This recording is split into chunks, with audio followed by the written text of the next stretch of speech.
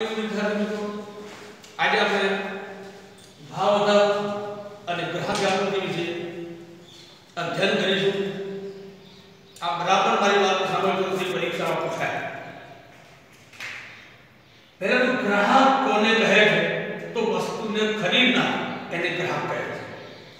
જ્યારે ગ્રાહક સુરક્ષા એટલે ગ્રાહકે જે વસ્તુ ખરીદી હોય છે એનો ઝડપથી સરળ ન્યાય મળી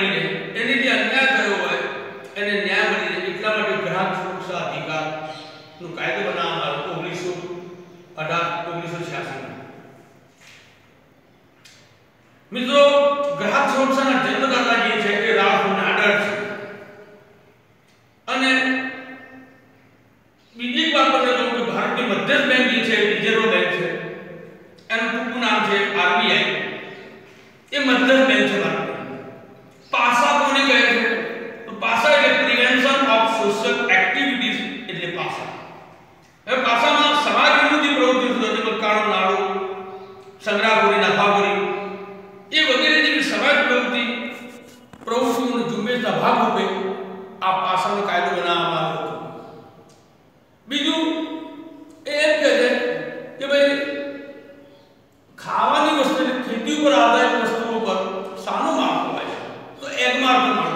એના સિવાય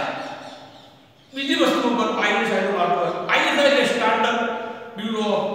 standard institute Indian standard institute થાય છે એનું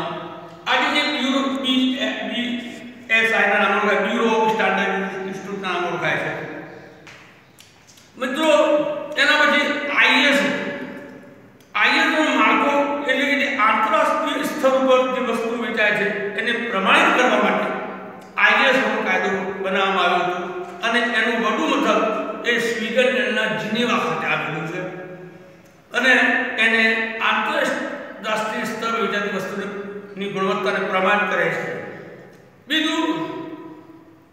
સી એસ એ એ કાયદો પણ એનો વધુ મતલબ એ ઇટાલીના રોમ ખાતે આવેલું છે. અને એ ઓગણીસો ત્રેસઠની અંદર એફએઓ અને ડબલ્યુએચઓએ આ કાયદો બનાવ્યો અને સીએએસ એ એનો આંતરરાષ્ટ્રીય સ્તર વિજ્ઞાન વસ્તુ ઉપર જે માળકા હોય, ચિહ્નો હોય છે, જેમ કે આઈએસઆઈ છ હજાર, આઈએસઆઈ એક નવ હજાર, આઈએસઆઈ એક ત્રણસો આઈએસઆઈ ચૌદ હજારના વાક્યા હોય છે. મિત્રો ભાવવૃદ્ધિ અંકુશના કારણો જણાવો. એવું કે તો ભાવવૃદ્ધિ અંકુશના કારણોની અંદર ભાવવૃદ્ધિ અંકુશના અને ભાવવૃદ્ધિના કારણો જણાવો.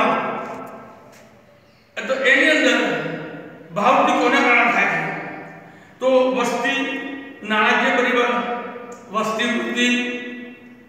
કાચા માલની ઊંચી કિંમતે પ્રાપ્તિ સરકાર દ્વારા ભાવ વધારો સંગ્રહખોરી નફાખોરી કાળું નાણું કાળું નાણું કોને કહે તો હિસાબી ચોપડે ન નોંધાયેલી બિનહિસાબી આવક એને કાળું નાણું કહે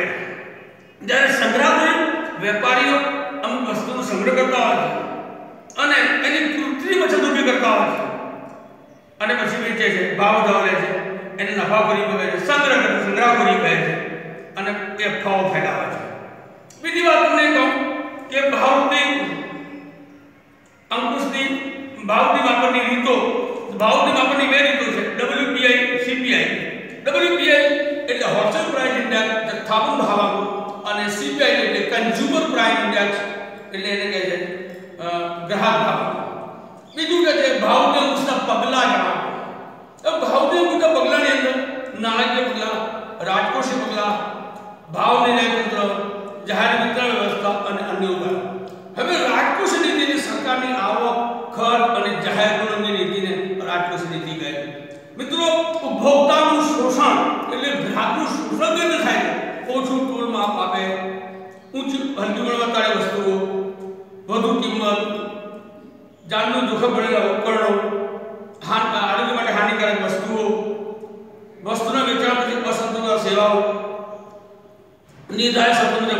વસ્તુ વેચાય નહીં સેવા ક્ષેત્રે ઉડાવ પસંદગીમાં છેતરપિંડી કૃત્રિમ અછત પછી કહે છે કે અધૂરી ન પૂરતી માહિતી આ બધા ગ્રાહક શોષણના કારણો છે કે આ રીતે થાય ગ્રાહક શોષણ ગ્રાહક શોષણના કારણો એટલે પરિબળો ચાર છે મિત્રો મર્યાદિત હરીફાઈ મર્યાદિત પુરવઠો મર્યાદિત માહિતી અને નિરક્ષરતાનું ઊંચું પ્રમાણ આ એના કારણો છે ભાવની અંકુશ ભાવ ગ્રાહક શોષણ ગ્રાહકના અધિકારો કયા છે મિત્રો તો ગ્રાહકના અધિકાર સલામતીનો અધિકાર પસંદગી કરવાનો અધિકાર રજૂઆત કરવાનો અધિકાર શિક્ષણ મેળવવાનો અધિકાર જીવ જંતુ વસ્તુ મેળવવાનો અધિકાર વળતર મેળવવાનો અધિકાર આ ગ્રાહકના અધિકારો છે મિત્રો ગ્રાહકની ફરજો પૂછાય છે ગ્રાહકની ફરજ એ કે તમે જે વસ્તુ લો એના ઉપર તમે એનું ફિલ્મ જુઓ એની પ્રાઇસ જુઓ એનું માળખું જુઓ